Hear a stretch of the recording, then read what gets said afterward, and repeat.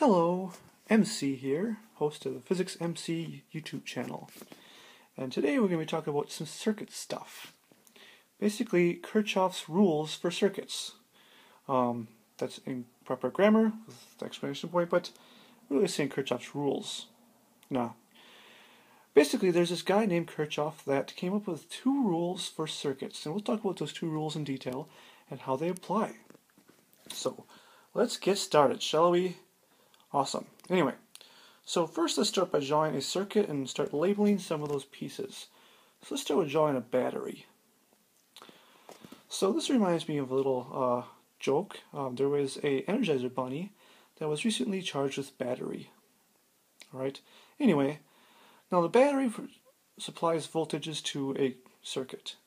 Um, now, what a voltage does is it uh, will push the electrons or the charges in a certain direction.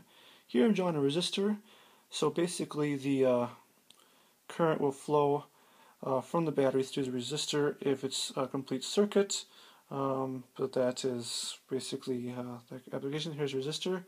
Um, uh, maybe drawing a resistor here, and then we want to connect it back to the battery. Now this is just a basic series circuit. Um, no need for Kirchhoff's rules here. We can just use combination series.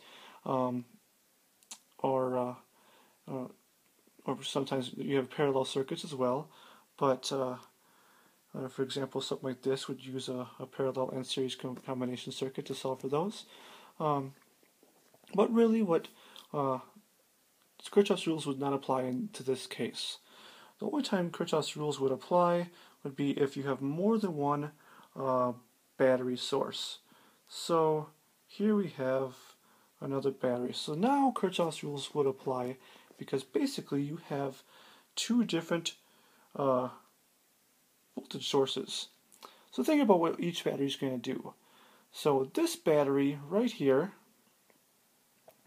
has a negative end, which is denoted by the bottom part, and a positive end, which is denoted by the bigger part. You can think positive is plus sized, it's bigger, and negative end looks like a little minus sign. So uh, there we have it. I'll get rid of that arrow. So that's the battery. We'll focus on that battery. And what that battery is going to do, uh, it's going to push conventional current, which is positive current, uh, this direction. So it's going to push it along that way. So that's what the battery is going to want to do. And likewise, the battery over here is going to push current this direction. Okay, pretty neat. So now focusing back on the first battery, the current for the first battery is going to want to go um, to the right. But what's going to end up happening is it's going to run into this current um, that's also go going to the left. So that's not going to be the case.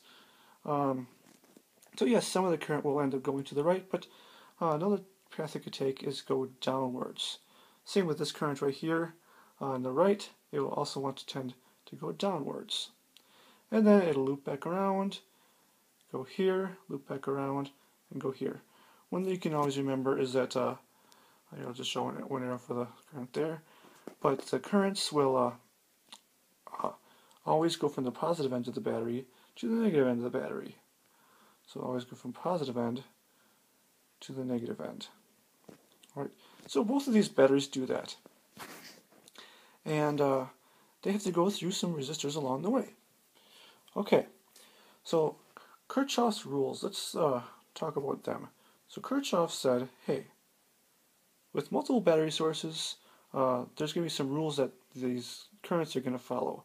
So rule number one is that the current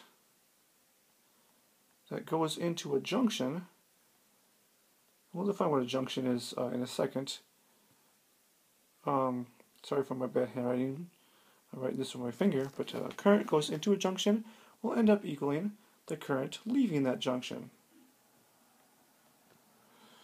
So that kind of makes sense. So if you imagine if you have a bunch of cars uh, on a highway, and they come to an intersection.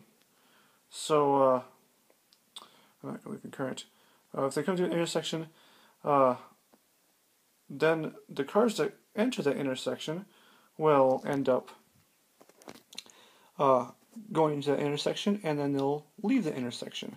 So think of it like these are cars going that way, cars going that way, and those two cars will meet up, and the cars that enter that in intersection will leave that intersection.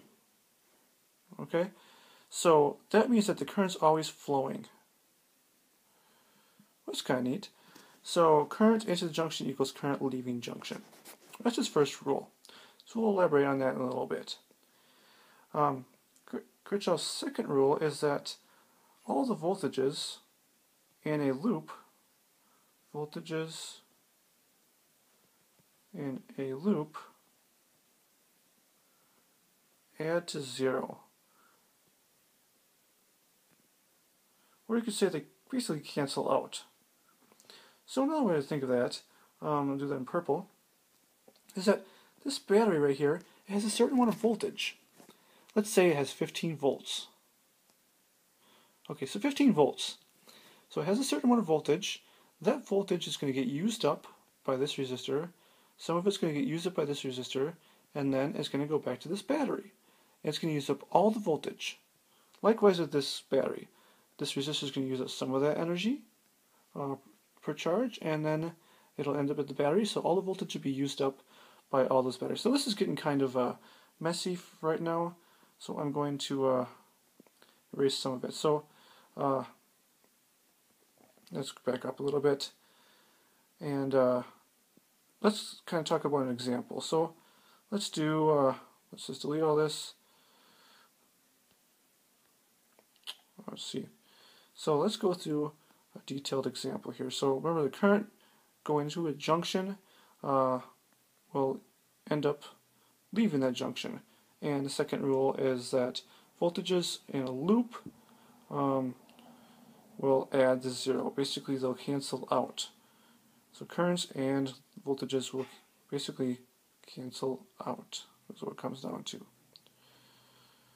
Really, think about it, it's conservation of energy. Energy is conserved. So let's talk about this. So let's get some values to some of these. So this is, we'll call that 15 volts. And we'll call this 10 volts.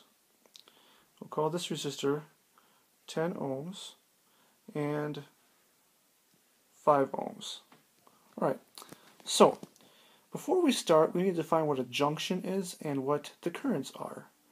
So this current right here we'll define that as current number one, I being current. Alright, so if you think about that current, it's going to go around, let's go through this resistor, it'll change, but then it'll come back there. So this current will also be I1. Because really think about the current leaving the battery, this battery, um, will be the current entering the battery. So both the current going leaving the battery and the current entering the battery will be I1. Well, likewise, let's uh, let's do the other battery. So we'll call that I2. I2 is the current leaving the battery, and then I2 is also the current entering the battery. So we have one red arrow that's not marked. That red arrow would be the middle arrow. Um, so we'll call that I3. It's the only unmarked arrow. Okay, cool. So let's define a junction. A junction is any intersection in the circuit. Basically where multiple wires come together at a point.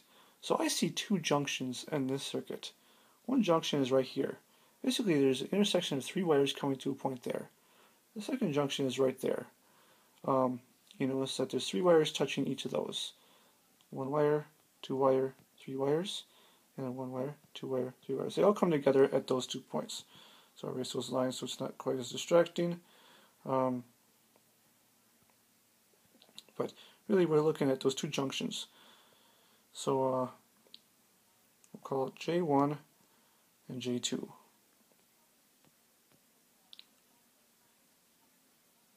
Okay, so J1. Let's think about the currents going into that junction. So really we're looking for the red arrows pointing into that J1. Well, we have I1 going into that junction. And we also have I2 going into that junction. But we have an arrow pointing away from the junction, it's I3. So if it's going away from the junction, it's leaving the junction. So the current going in, I1 plus I2, equals the current going out, which is I3. That's really what Kirchhoff's first rule says, is that the currents going in, these, equal the currents going out, which is that. So if you add current 1 plus, I, plus plus current 2, I2, it'll equal the current for current 3. Alright, cool. Let's do the same thing for J2. So looking at J2, what arrow are, is going into J2? Well, we have I3. I3 is pointing right down towards J2. That's the only arrow going into J2. So that's the current going in. What arrows are leaving? Well, we have I1, and we also have I2 are leaving. Well, if you look at these two equations, this one and this one, they're exactly the same equation. You have I1 plus I2 equals I3, and the other one you have I1 plus I2 equals I3. It just flipped around. So really, we don't need two equations to say the same thing. We can just go with one. Alright, that's pretty neat.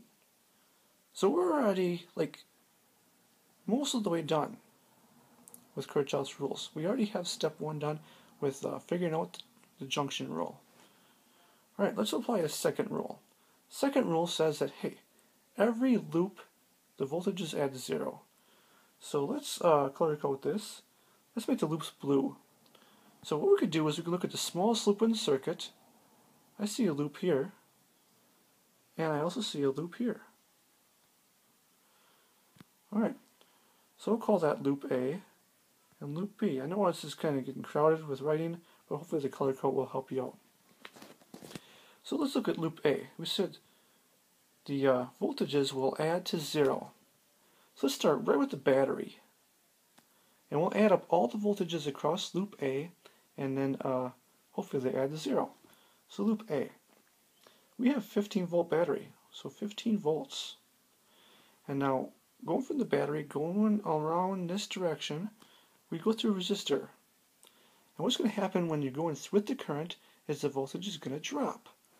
So right here, this uses up some voltage. How much voltage does it use? Well, it uses V equals IR, the famous equation, V equals IR. Well, that's a voltage as well. What's the R? Well, I don't know. Well, yes we do. We do know it's 5 ohms. What's I? Well, I is I1. So we're going to subtract off IR. So I1 times 5, or we can rewrite that as 5I1. Okay, so going around the circuit, we're going down this path, and that's going to run into this resistor right here. So that's going to equal, well, it's going with the current, so you're going to subtract it off, and that resistance is 10. So we have minus 10 times the current of I3. 3. And then we wrap back around and go to the battery and we're back where we started. So that's a closed loop. So that equals 0. So that's what it says, is that the voltages across every closed loop equals 0. Well, we also have a second closed loop here. The one on the right. So we have B. So let you try this one on your own. So B, we can start with the battery. The battery is 10 volts. And we start with the battery, go around, and we don't run into any resistor until we get to this. 10 volts. Oh, we ran into a resistor. And we're going with the current, so we subtract it off. Now, if we went against the current, let's say the arrow was going the other way, its red arrow right here was pointing up, then we would add the current. We would go to plus 10. But since we're going with the current, we can subtract it off um, and make it minus 10. So minus 10, um, but that's 10 ohms. It's 10 I3 equals 0 because we don't have any more resistors to go through. And there we have it. We have three equations. Uh, I'll, I'll put those in. Uh,